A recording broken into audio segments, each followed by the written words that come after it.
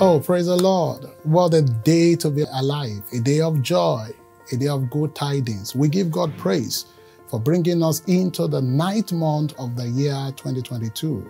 Anywhere you are today, lift up your voice. Thank Him for seeing the month of September.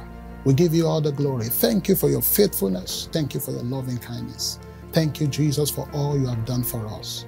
In Jesus' name, we give thanks. What's the Lord saying to us in this month of September.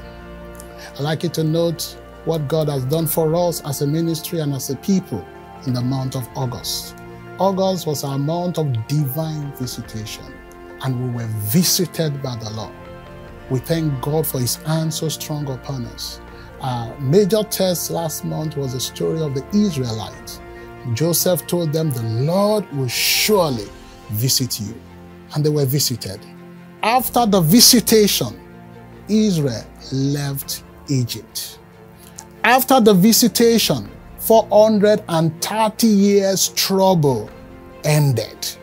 After the visitation, Israel became free.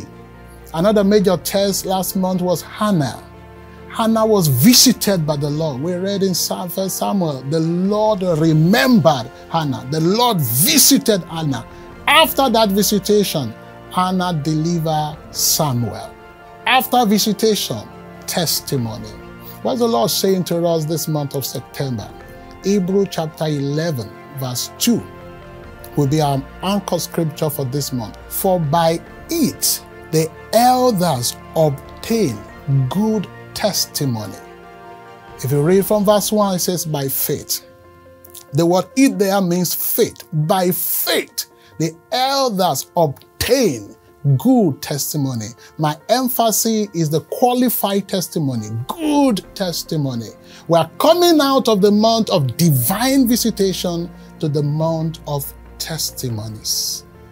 For every member of this commission and everyone connected to the grace of God in Island Church, I declare this month of September as your month of testimonies. It's our month of testimonies. I declare this month for you, your month of testimonies. Testimony everywhere. Good tidings everywhere.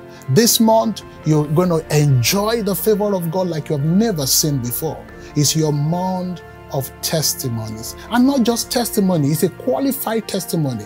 We read in Hebrew 11 to by it, the elders obtain good, qualified. So get ready this month, major testimony. Testimony like you've never seen before. And it's not going to be one, it's testimonies one testimony after another, one good news after another. Hear me, this month no evil report. This month no evil, no, no bad report. It's going to be a month of good testimony. I like you to put in the comment section, say it with your mouth. This is my month of testimony. And tell me the kind of testimony you are expecting. Major testimony, good testimony, mighty testimony, testimony like I've never seen before. As you go this month, I bless you. I bless you with the blessings of the Lord. I bless you with increase. I bless you with favor. I bless you with joy.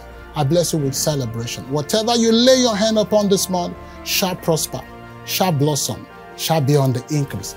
This is your month of testimony. Say it everywhere. This is my month of testimony. God bless you. Have a great month.